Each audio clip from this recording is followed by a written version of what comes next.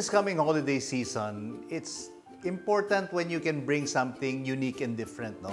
Like I say, you know, my philosophy in serving food is to come up with something unexpected and delicious. I'm going to show you how to make Vietnamese dishes. My first recipe for today is Vietnamese fish steaks. My version of this recipe would need fish steak, salt, oil, sliced red onions, fish sauce, chopped spring onions, and chopped finger chili and water. So I have some oil. Okay.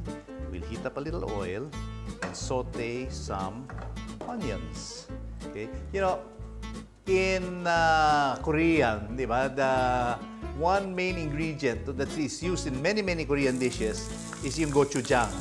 In Vietnamese dishes naman, and Thai actually, ano naman patis, di ba?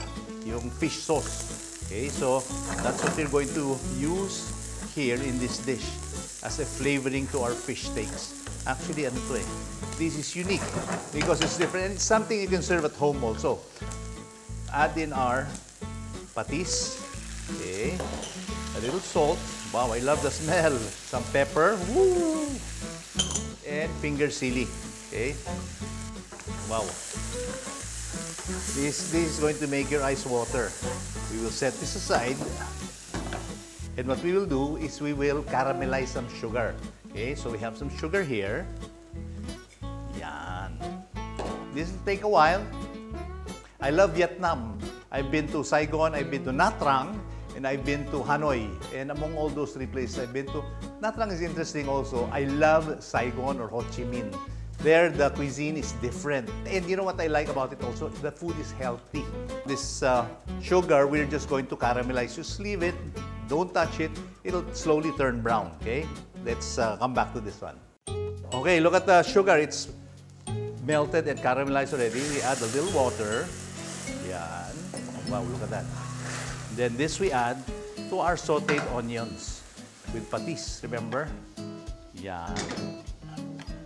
Mix all of these ingredients very, very well. And we add fish. Yan lang. We will just simmer this uh, tanige in this mixture. And that's it. Ganun kasimple lang yan. This is unique. It's healthy also. Diba that, oh? Taste a little of this sauce. Oh my God. It's spicy, it's salty, it's sweet, it's different. Look at this, oh. So this one, sandali lang.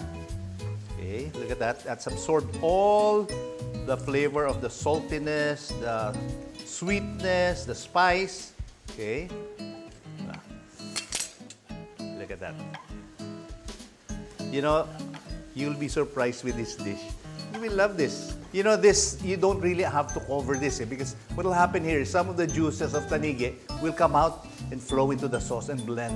Now, what we can do here is just keep it like this. Look at that. Look at these fish. Naku. Look what you've done. Mm.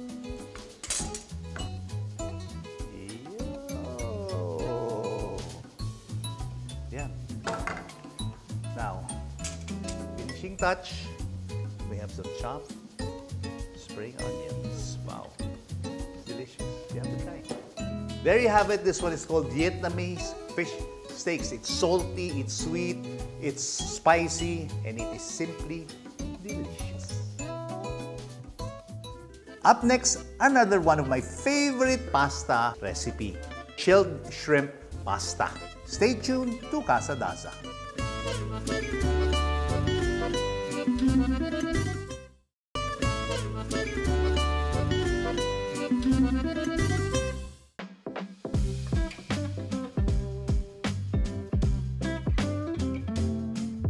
Surprises. That's what it's all about. Another pasta surprise recipe. This one is unique. You know, I've tried this recipe or something similar to it in this pizza place that's all over the all over the, the country, no? I have a basic recipe here. I have the basic ingredients, but use your imagination. I can imagine you can add some chopped peanuts to this or whole peanuts, diba? What have you. This one is called chilled shrimp pasta. For the chilled shrimp and peanut pasta, you will need peanut butter, hoisin sauce, salt, pepper, soy sauce, honey, and sesame oil. Shrimps, peeled and cleaned, spaghetti noodles cooked according to package directions, and spring onions. What I have here are some ingredients where I will mix all of these together. I have some peanut butter. Imagine the ingredients, ah, so that you have an idea what this will taste like. Tell me if it's going to be unique. Peanut butter. Get the chunky kind para when they bite into it, may konting crunch, no? Then we have some hoisin sauce. Imagine, peanut butter, hoisin sauce. Okay. Then some salt salt, pepper, soy sauce, yaw, honey. Look at this. Honey. Yan. So sweetness, saltiness, sourness, diba? Spice if you want. Sesame oil. And what we will do with this is just mix all of these together well. Now, I have here some cooked spaghetti noodles or cooked pasta, what have you, no? If I say it's about 200 grams, make sure it's about 200 grams because you have to have a balance of the sauce and the, the pasta, di ba? You don't want too much sauce and very little pasta or too much pasta and very little sauce, di ba? So what you want to do here is just mix all of these together well until we achieve or remove the chunkiness of our peanut butter. Okay? Mix, mix, mix. Then I have some steamed shrimps. And then what I will do here is just this. Look at this. I'll try it. Wow, sarap. Ooh, sarap. Okay, so I'm going to just use this. This is a chill dish. I'm not cooking anything. I have cooked pasta, okay, or cooked spaghetti. We add in our sauce. Mixed very, very well.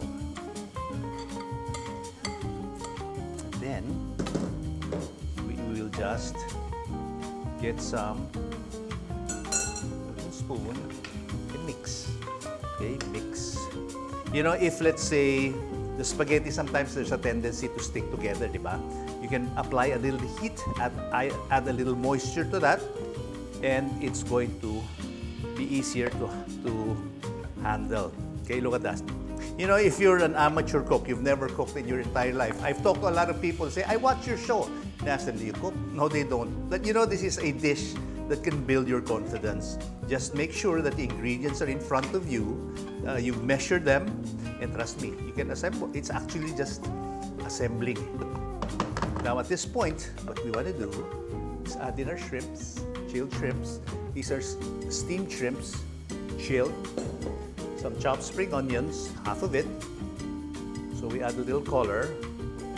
And then toss again. Look. Look, look, look. Okay, so now what I'm going to do now, this one is ready to plate. Okay, look at that. Wow. Hmm. I'm just going to plate this and I'll show you what the finished product looks like. Okay, ready to plate. Yun. May mga ganun-ganun pa eh, di ba? They're fine. Okay. Get some of these shrimps. Put it on top. Yan na. Lagyan natin ng green. You have orange already. Let's add some greens. Look at that. Yo! Diba? You want something easy to make, unique, it's fast, and it's delicious? Try this. Chilled shrimp pasta with peanut sauce. Harap.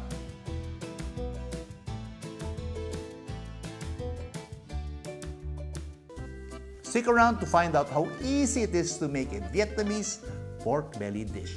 Only here on Casa Darsa.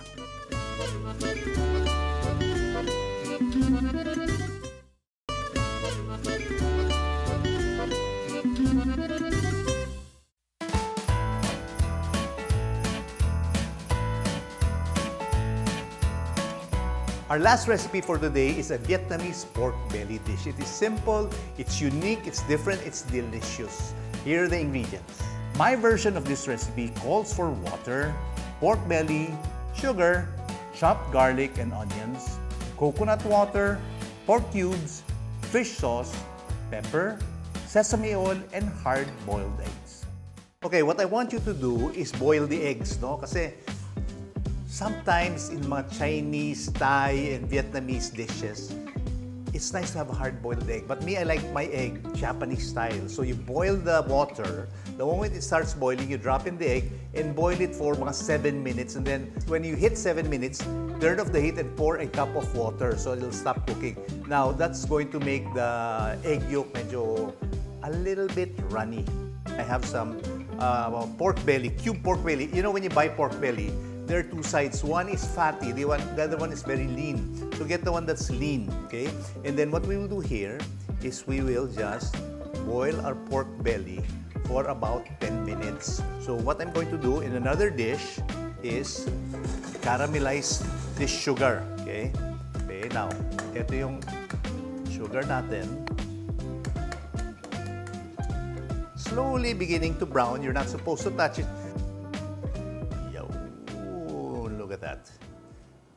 You know, this kind of uh, caramelization is not as sweet as when you just pour in sugar, di? It's going to be different, okay? Now, what we want to do here is, wait. We add in our garlic. We add in our onions. Okay. we add in our water. We add in our cubes, four cubes. We add in our buko juice, di ba? This is the one that makes it unique. And then, mix all of this together very, very well.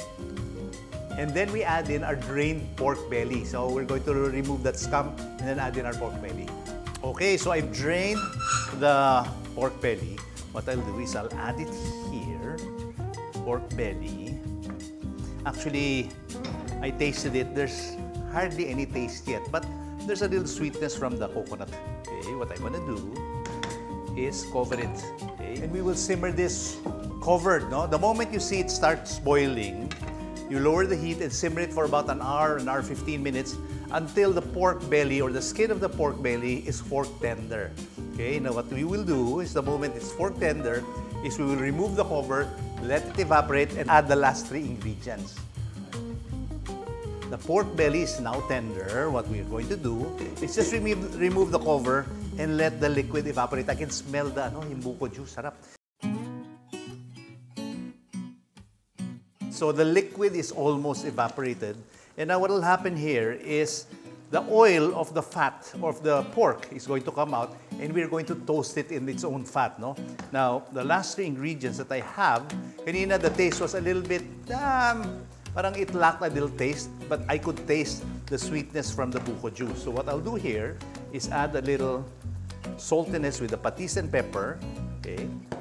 And our sesame oil. Okay. Mix all of these three together. Yeah. And the, you know, if you listen to the the boiling, at this point it's still boiling because it has liquid. That boiling is going to transform into sizzling. When it's sizzling, that means it's the oil that's frying already. Yan, look at that, oh. It's almost evaporated and the sizzle is different already. The sound of the sizzle is the oil already toasting our pork belly. Now, what we will do is we'll add in our last ingredients, yung sesame oil, pepper, and our patis. Mix this very, very well. Wow, I can smell that patis, the fish sauce. We add in our hard-cooked eggs. Okay. And just serve it as is. Serve it as is. Wow. There you have it. This one is called Vietnamese pork belly. You have to try this. You know, it's not going to be very difficult for us Filipinos to appreciate a dish like this because the ingredients are familiar to us, eh, di ba? Maybe we can add a little, to top it with a little wansui or chopped wansui, di ba? Sarap. Okay, there you have it. Vietnamese pork belly. Unique, it's delicious. Today, we prepared three unique Vietnamese dishes. Trust me, you will love all of these.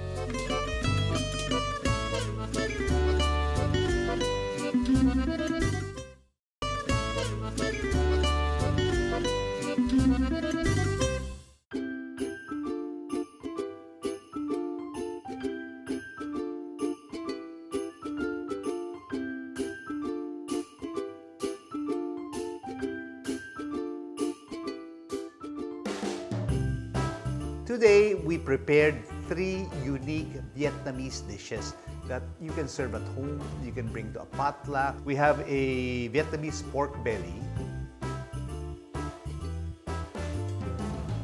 We have a chilled shrimp peanut pasta